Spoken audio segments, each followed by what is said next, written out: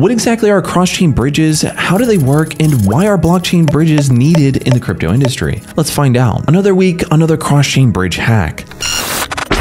Cross-chain bridges seemingly appear to be constant targets of hackers, and with millions of dollars lost in these hacks, one might wonder why the need for blockchain bridges. There are over hundreds of blockchains with different features and use cases. While blockchain technologies continue to gain traction and attract more users, the issue of interoperability between different siloed blockchains has remained a major challenge. Currently, blockchains exist largely as isolated networks that cannot effectively communicate and share data with one another. For instance, Ethereum users cannot deploy smart contracts on the Bitcoin network, and Bitcoin Bitcoin holders cannot use their tokens for transactions on the Ethereum network. Put simply, cross-chain bridges connect individual blockchains, enabling the transfer of assets and information between them. This allows interoperability between blockchains, allowing users to access protocols and decentralized applications, or dApps, in a multi-chain manner. Cross-chain bridges have emerged as one of the available solutions that are being used to connect different blockchains and ecosystems within the crypto space. So what are cross-chain bridges? A cross-chain bridge, otherwise known as a blockchain bridge, is a protocol that connects two blockchains, allowing users to transfer digital assets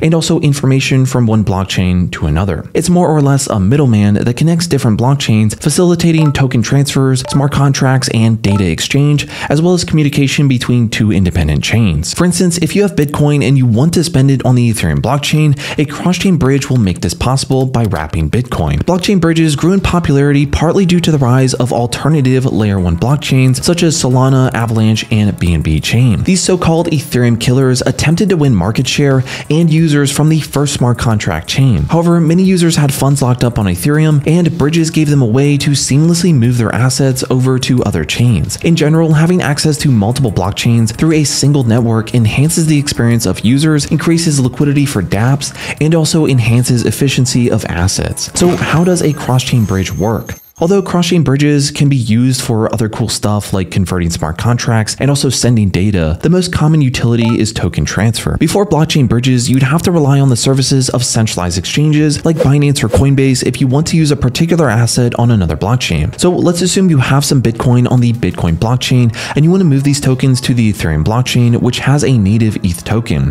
To make this happen, you will need to send your Bitcoin to a cross-chain bridge, which will hold your coin and create equivalents in ETH for you to use. In reality, your Bitcoin is not transferred from the Bitcoin network to the Ethereum network. Instead, it's locked in a smart contract that gives you access to an equivalent amount in wrapped Bitcoin that can be used on the Ethereum blockchain. If you decide to convert it to WBTC and then back to Bitcoin, whatever is left of the wrapped token will be destroyed or burned while you receive an equivalent amount of Bitcoin. A cross-chain bridge would allow you to convert and use your Bitcoin on the Ethereum network without going through a tedious process on a centralized exchange. It works by wrapping your tokens in a smart contract and then issuing the native assets that can be used on another blockchain of choice. So why are cross-chain bridges important in the crypto ecosystem? To understand the importance of cross-chain bridges in the crypto space, it is necessary to understand how interoperability is powering seamless transactions in traditional finance. You may not have noticed, but you can use your Visa to pay for your MasterCard bills. Similarly, you can use PayPal to pay for virtually all your online purchases, irrespective of where you're buying from. These are all different companies operating on different systems and protocols, yet transactions are fast and seamless. The lack of interoperability between different blockchains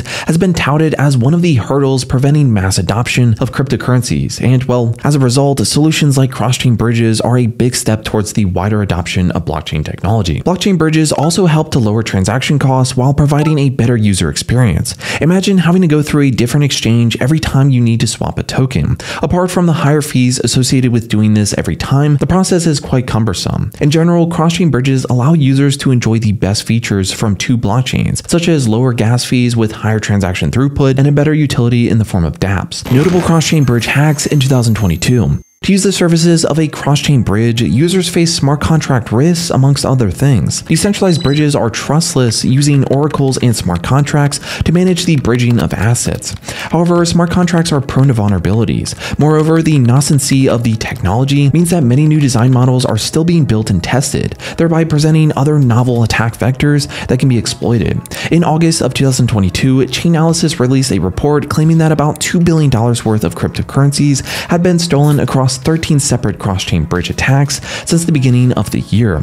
And according to the report, attacks on bridges make up for nearly 70% of all the total funds stolen between January and August of 2022. Here are some of the top cross-chain bridge hacks in 2022. The Ronin Bridge hack. The Ronin Bridge attack might go down in history as the largest DeFi exploit ever committed. In late March, the ETH sidechain built for the popular play-to-earn game Axie Infinity was compromised. The attackers made away with over 173,600 Ether and 25.5 million USDC, valued at more than $600 million at the time. According to the company, the hackers gained entry through the private keys to the validator nodes, resulting in the compromise of five validator nodes. There are claims that the North Korean Lazarus group was responsible for the attack, with later reports showing how an advanced phishing attack was used to get the private keys to the validator nodes. Wormhole hack. A month before the Ronin incident, another cross-chain bridge had already been hacked. On February 2nd of 2022, the second largest cross-chain bridge exploit happened on the Wormhole bridge. Wormhole is a decentralized universal message passing protocol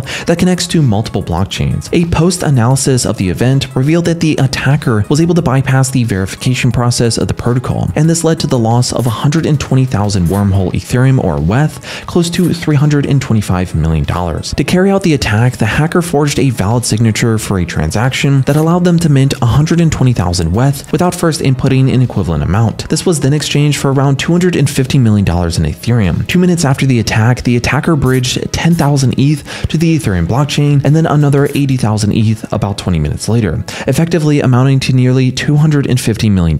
And interestingly, the funds are still sitting in the attacker's wallets to this day. Harmony Bridge hack. Another recent cross-chain bridge hack is that of the Harmony chain, which happened at around 11 a.m. UTC on June 23rd of 2022. On that day, the bridge between the Harmony chain and Ethereum suffered multiple exploits. Some security experts were able to identify 12 attack transactions and 3 attack addresses. Surprisingly, the Lazarus Group, a well-known North Korean hacking syndicate, was identified as the primary suspect behind the incident. The group used the login credentials of Harmony employees in the Asia Pacific region to gain entry into the protocol security system. Once in, the hackers deployed an automated laundering program that actually transferred the stolen assets late at night. They netted a plethora of tokens on the bridge, including ETH, USDC, wrapped Bitcoin, USDT, DAI, BUSD, AAG, FXS, Sushi, Aave, and WETH, and also Frax with varying values between $49,000 and $41 million. And in total, the protocol lost around $100 million worth of assets. Nomad Bridge hack. In the beginning of August of 2022, Nomad Token Bridge suffered a security breach that allowed the attackers to systematically drain a large portion of the protocol's funds over a long series of transactions. Over $190 million was removed from the bridge, leaving just around $651 in the protocol's wallets. The company told reporters that some of the funds were withdrawn by white hat friends who took the funds out to safeguard them. However, 24 hours later, only $9 million out of the $190 million had been returned. And unlike other blockchain bridge hacks, the incident saw hundreds of addresses receiving tokens from the bridge and what could be best described as a free-for-all. Top cross-chain bridges. As with blockchains, there are quite a number of cross-chain protocols, and this image gives an idea of the number of blockchain bridges operating across different networks. Portal Token Bridge, formerly known as Wormhole. Despite the February attack, Portal has remained one of the most popular cross-chain bridges in the space. Although originally built on the Solana network for bidirectional crypto token transfers between Solana and Ethereum, the multi-chain now connects over 10 blockchains including Solana, Ethereum, BNB Chain, Polygon, Avalanche, Oasis, and more. Portal uses special validators known as Guardians to provide its users with a robust cross-chain swap experience. The Guardians monitor the activity on the bridge and verify user requests. In addition to its beginner-friendly interface, Portal Token Bridge also offers competitive transaction fees. The protocol has so far processed over $400,000 in transactions and also has around $350 million in total value locked. And next up is Binance Bridge. Coming from the world's leading exchange, Binance Bridge is an Ethereum BNB smart chain bridge that allows anyone to convert into and from the BNB BNB Smart Chain and from other BSC compatible formats. Currently, the Binance Bridge supports the conversion of ERC20 tokens along with coins on other networks like XRP, Link, Atom, DOT, Tezos, and ONT. It's also worth mentioning that the bridge charges zero fees for transactions, and users are only required to pay the gas fees on the native and destination chains. Avalanche Bridge. The Avalanche Bridge is a two-way cross-chain bridge between Avalanche and the Ethereum network. It uses ChainSafe's Chain Bridge to enable two-way transfers of both crypto tokens and also NFTs. The protocol depends on relayers to secure the bridge, and these relayers compare the proposal to swap assets against Avalanche's data and approve or reject the proposal through a voting process. This additional voting process makes Avalanche one of the most secure crypto bridges in the space. Fantom AnySwap Bridge. Like the Avalanche bridge, Fantom's AnySwap is a bidirectional solution that facilitates cross-chain transfers between the Ethereum network and the EVM compatible Fantom network. AnySwap provides a multi-chain of liquidity solutions and also uses liquidity pools to enable cross-chain swap. The liquidity pools deployed across various blockchain networks facilitate transfers to Fantom from Ethereum, Avalanche, Polygon, and the BNB chain.